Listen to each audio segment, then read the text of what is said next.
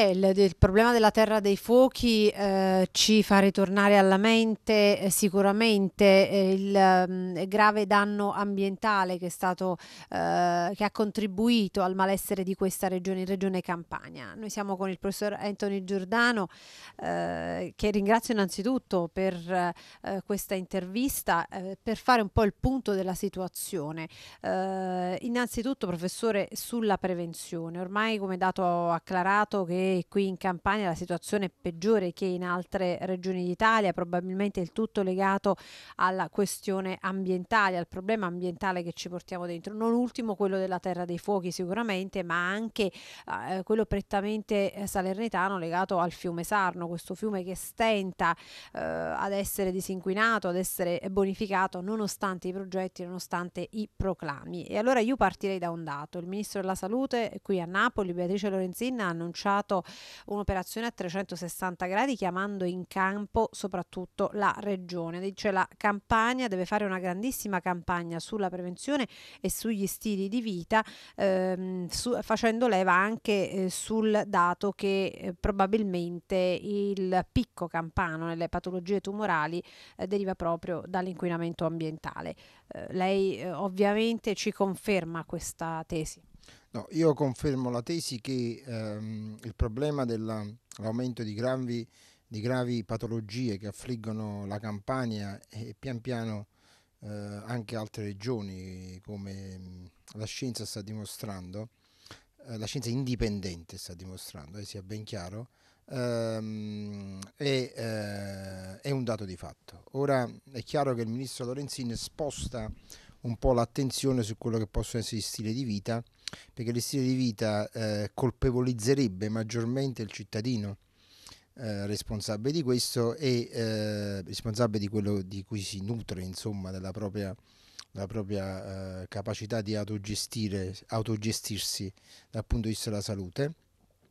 Ma eh, e quindi eh, ehm, eh, libererebbe un po' dalla pressione quelli che veramente sono i maggiori killer nella rossa regione, che sono appunto le sostanze cancerogene che eh, sono presenti in, in quantità enorme eh, nostre, nei nostri eh, tre elementi, aria, acqua ehm, e terra.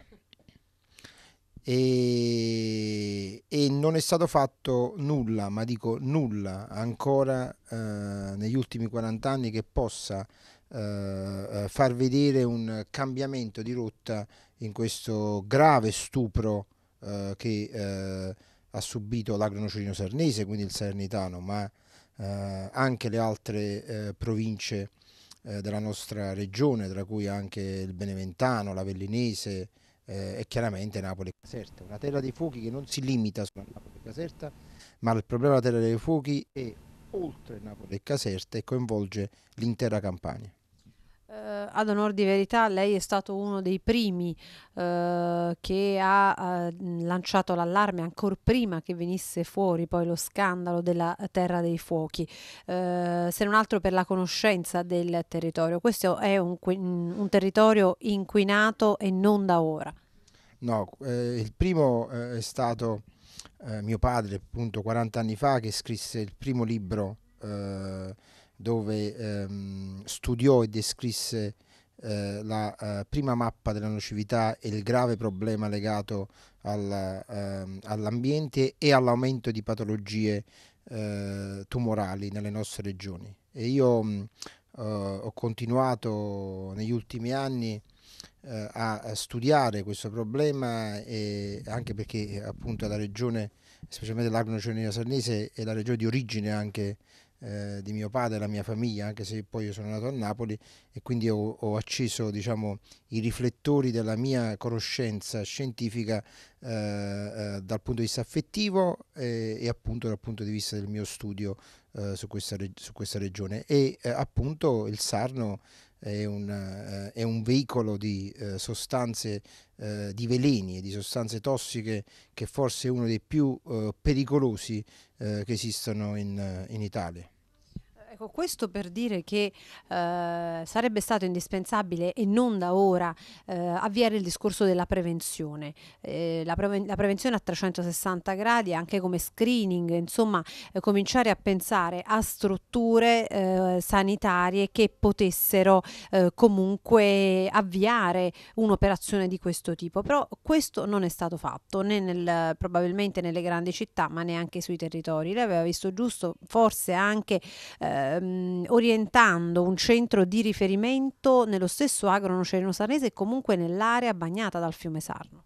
Io eh, suggerì e proposi eh, forse tre o quattro anni fa eh, di eh, creare un, un, polo oncologico all'altezza nel, eh, nell'agro sonicino sarnese, una regione, una zona in cui chiaramente eh, la ehm, numerosa popolazione e la mancanza di infrastrutture non riusciva a, a monitorare, a controllare eh, questa emergenza della salute dovuta a più fattori. Uno da un fattore da una questione infrastrutturale, quindi non, non ci sono eh, non c'erano e non ci sono ancora delle infrastrutture all'altezza e anche dal punto di vista della, della, diciamo, della, della qualità eh, delle qualità professionali. Esistono pochissimi medici che io reputo degli eroi che eh, riescono in una certa maniera a poter, ehm, eh, che sono così sul fronte di guerra, diciamo, a cercare di poter eh, eh, rendersi utili e arginare quello che è il problema della salute. Però eh, la mancanza di, ehm, di conoscenze, di professionalità, presunzioni, arroganze, interessi privati che sono eh, superiori a quello che eh, è l'interesse della salute umana. La medicina eh, e l'oncologia ehm, purtroppo è diventato un, un business per eh, pochi che eh, ehm, così ehm, portano, diciamo, portano a, a, a, um, eh, a creare questa disfunzione nel eh, poter eh, curare e prevenire i pazienti. Quindi un paziente, un cittadino che ha una, un qualsiasi problema non sa dove andare, non sa che percorso diciamo, seguire dal punto di vista della prevenzione. Uno perché c'è una, una politica incapace, i direttori generali sono nominati dai politici, i primari, le, tutte le posizioni apicali sono nominate dai politici. È, chiaro che eh, il primario nominato da un politico non è un primario che eh, o non è un, un, professionista che è in grado di portare avanti eh, delle emergenze e ha una cultura scientifica per poterlo fare. Io volevo aiutare in questa situazione per cercare di portare anche la mia esperienza dal punto di vista dal punto di vista professionale in America per anni in maniera così disinteressata e anche eh, gratuita. E, eh, e, proprio in questa regione, proprio in questa provincia, eh, diciamo, ho avuto una serie di, di attacchi, ma anche di offese eh, gravissime da ehm, giornalisti, da eh, politici, da mm, eh, colleghi medici, chiaramente eh, collusi, sindacalisti, quindi sindacalisti che eh, dovrebbero proteggere i lavoratori, è vero questo, ma dovrebbero anche essere un punto di riferimento per i cittadini, invece si dimostrano essere delle, eh, dei, mm, eh, probabilmente dei prezzolati o delle persone che fondamentalmente non hanno nessuna eh, interesse nel, nel, o nessuna cultura e comprensione del, del significato e dell'importanza della salute umana. E sono felice perché proprio eh, tre o quattro mesi fa, ma sono felice dal punto di vista che perché eh, eh almeno noi abbiamo una giustizia eh, che funziona, perché io ho querelato per esempio il giornale La Voce delle Voci ehm, che aveva scritto un articolo proprio diffamante quando noi cercavamo di presentare il progetto anche sul, sul, eh, sul um, polo oncologico e eh, il Tribunale di Napoli li ha condannati in maniera molto dura e devo dire dando grandi soddisfazioni per la, eh, per la incongruenza, per la superficialità, per la eh, per la serie di bugie e di offese che hanno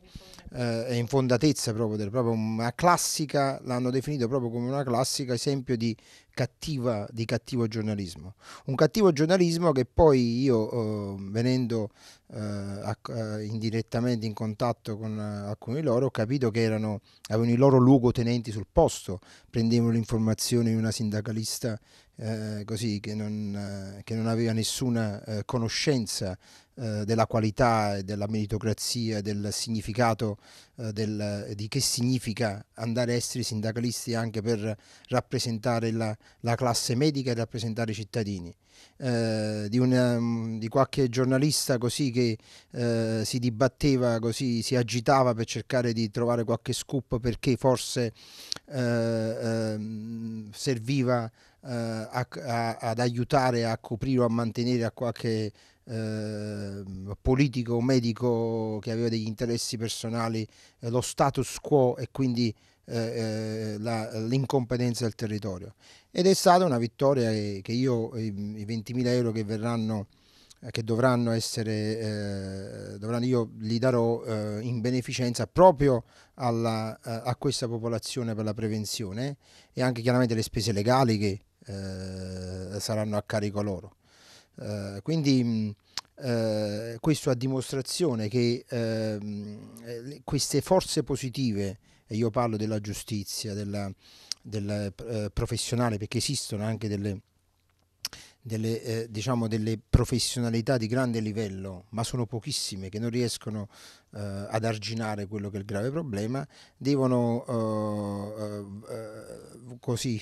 devono, non voglio dire, ma devono eh, vigilare ancora più e con maggiore attenzione eh, su questo territorio difficile, perché purtroppo io il, 90% del mio, della mia vita, del mio lavoro negli, negli Stati Uniti e, e, e sul territorio ci siete voi.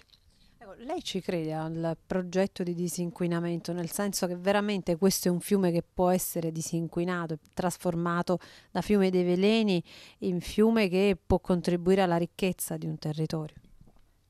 Allora, guardi, per eh, quando si studia il, il, il, problema delle patologie e si, ci si rende conto che tipo di patologie affliggono il territorio,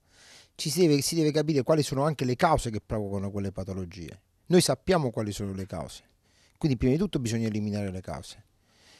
I territori, i fiumi come i terreni, possono essere eh, eh, così bonificati eh, ed esistono le tecnologie, esistono,